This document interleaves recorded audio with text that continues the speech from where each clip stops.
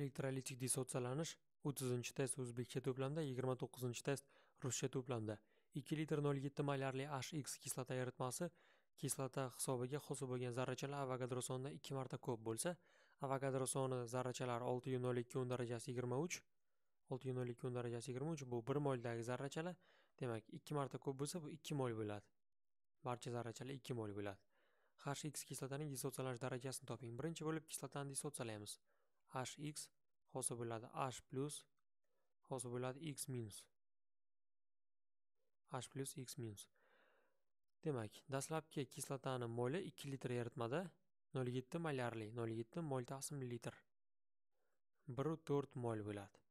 1,4 mol demak noma'lum mol dissotsiyalanadi buni x bundan hosil bo'ladi x mol kation va x mol anion.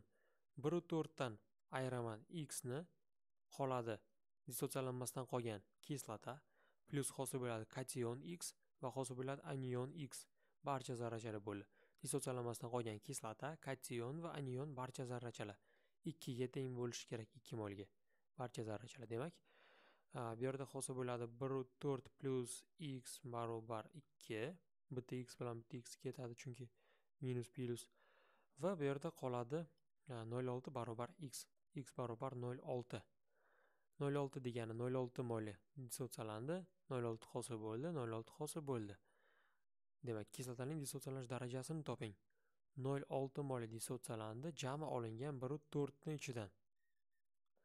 Jami olingan biru to'rtni ichidan nol oltisi dissotsiyalandi ya'ni bu degani uch taqsim yetti. Uch taqsim yetti.